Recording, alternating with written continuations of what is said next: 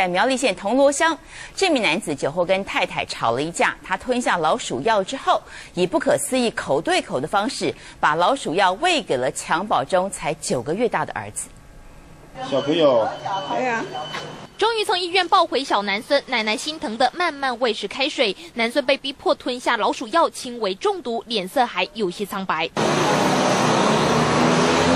强行喂食老鼠药的人，竟然是小男孙的亲生父亲。当时男子坐卧在这张床上，抱着襁褓中才九个月大的儿子，以口对口的方式喂食老鼠药。我含量、量的声音带点出去啊！哎，转来爱塞动珠风去了。